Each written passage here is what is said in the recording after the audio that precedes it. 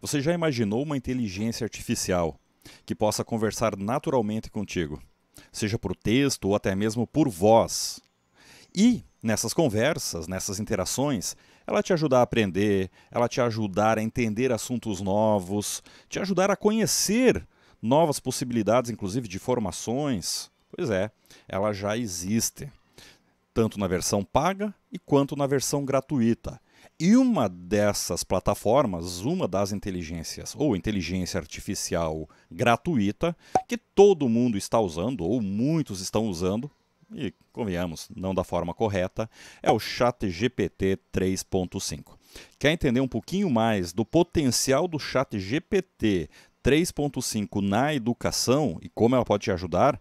E também ficar com uma pulguinha atrás da orelha ah, em relação a alguns desafios e alguns dilemas, alguns apenas, que são muitos, tá? Eu vou falar alguns apenas aqui. Então, já aproveita aí, vai deixando seu like, vai se inscrevendo no canal, porque depois da vinhetinha a gente vai falar sobre o Chat GPT 3.5.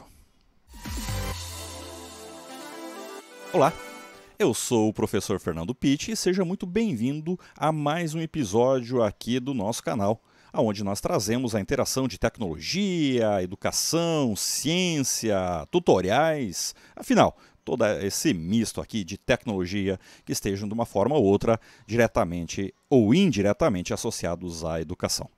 E neste vídeo vamos falar um pouquinho sobre o Chat GPT 3.5. Um pouquinho, porque tem muita coisa para falar sobre ele. Tem para a gente falar sobre o funcionamento dos tokens, as APIs, o próprio é, a, a, própria interação dele, não na versão 3.5, mas na versão 4.0 Plus, né, com textos, com imagens, com PDFs, inclusive. Na versão gratuita ela não faz isso, mas nas outras ela faz e a gente vai falar sobre isso em breve também. Bom, mas para a gente começar, vamos entender um pouquinho o que é o GPT. O GPT é um chat né, de interação, de transformação, e como eu já falei em outro episódio, que está aqui também nos cards, que ele é um tipo de inteligência generativa, inteligência artificial generativa, ou seja, ele foi alimentado, aqui estima-se que em torno de 45 terabytes de informações, é, com textos, blogs, trechos de livros, mídias sociais, e tudo isso dessa maneira, desde a versão inicial, lá em 2018, até a versão do Chat GPT 2 em 2019, até a versão final dele, o 3, na, em 2019 e 2021. Então ele foi aprendendo, ele foi saindo de textos simples, desconexos, a textos muito conexos, muito bons, é, principalmente nas versões pagas, né? Então ficou perfeitinho. E aí tornou-se comercialmente viável ali a partir de 2021.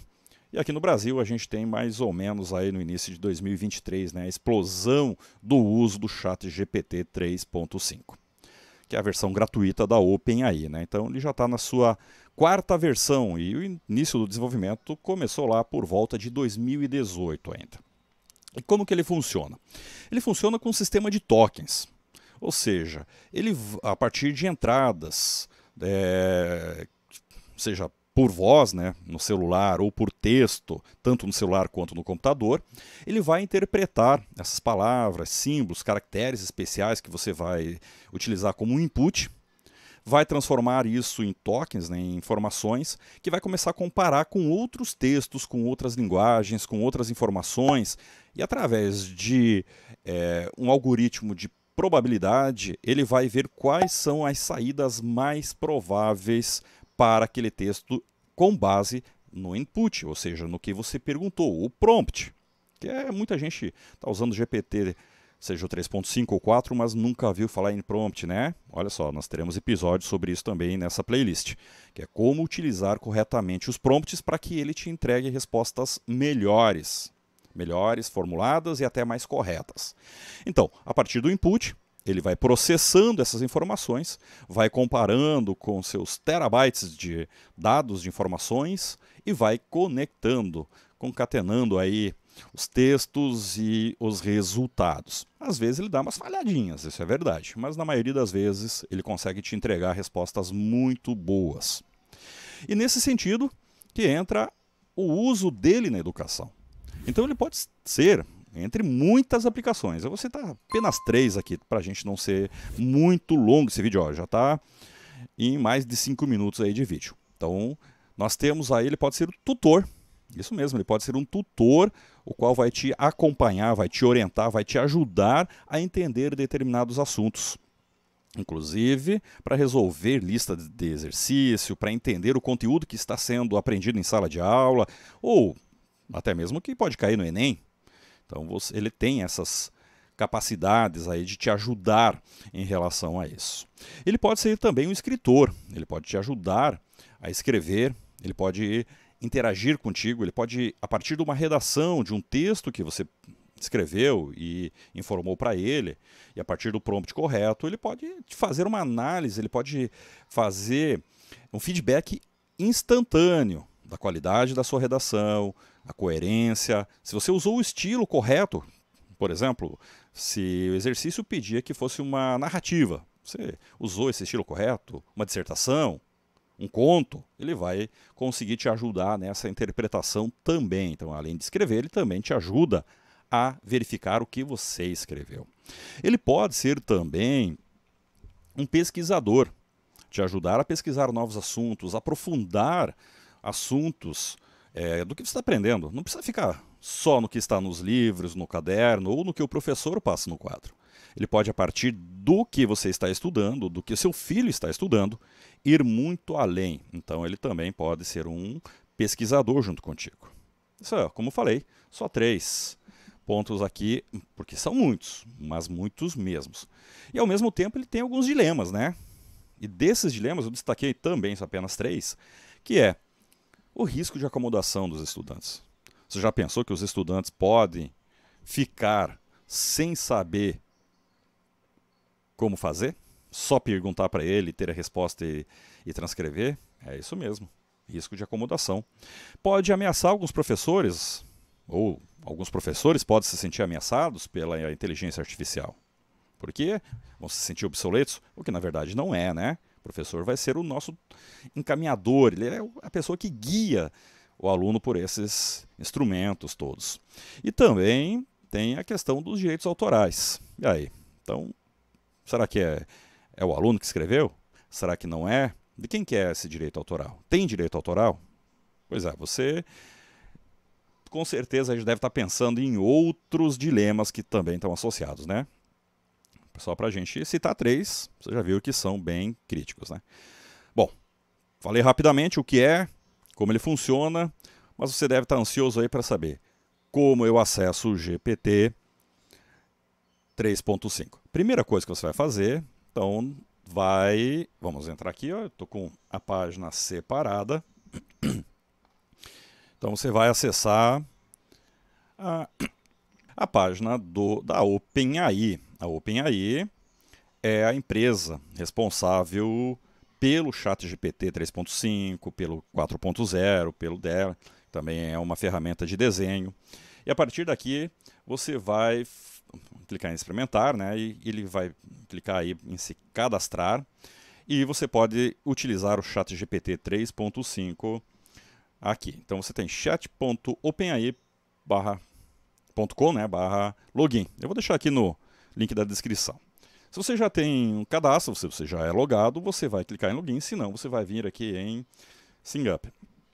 Vai fazer o cadastro, é, vai pedir um teu número de celular aqui para confirmar e ele vai te mandar um token, né, que é a tua senha. E a partir daí você vai poder interagir com ele. Também tem o chat GPT 4, que é assunto para um outro vídeo, que é o pago, mas por enquanto vamos ficar aqui no 3.5. Uma vez que você fez o cadastro, que você já tem o seu token, que você já tem a sua senha, você vai acessar o seguinte endereço. Então, isso aqui já é para depois que você já fez. chat.openai.com. E está aqui. Ele vai começar a interação. E o prompt é exatamente o que você pergunta. Você pode dizer, ó, Oi, chat. Como você está hoje?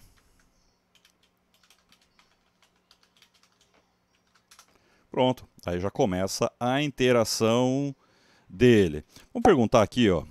fazendo prompts bem simples. Quanto mais complexo, quanto mais rebuscados prompts, melhor é a resposta.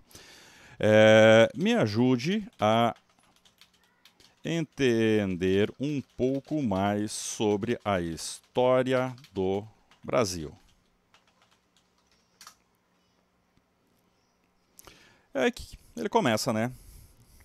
Falando, trazendo as informações. E a partir daqui, a interação vai, por exemplo, explorando um pouco mais sobre o período pré-colonial, vai explorando um pouquinho sobre as grandes navegações que trouxeram os portugueses para cá em 1500. Então, temos aí todas as informações, ou ele tem muitas informações que vai trazendo na forma de output, né, na forma de resposta. Então, por exemplo, aqui, ó, o ciclo do café e industrialização. No final do século XIX e início do século XX, o Brasil experimentou uma, um grande crescimento econômico impulsionado pela produção de café. Mais tarde, no século XX, o país passou por um processo de industrialização significativo. A gente pode pegar e pedir para que ele continue a partir daqui. Então aqui são apenas algumas das possibilidades do uso do Chat GPT 3.5, que é a versão gratuita. Me diga aí, você já está usando 3.5? Já utiliza os prompts corretos? Já utiliza prompts mais elaborados para poder ter respostas melhores e mais assertivas ao que você precisa? Nos conte aqui nos comentários e também fique ligado que a gente vai trazer outros aplicativos de IA Geração de vídeo, geração de imagens, geração de textos e muito mais. Então, nos vemos aí nos próximos vídeos aqui nesta playlist sobre inteligência artificial, especialmente as conectadas à educação. Até lá!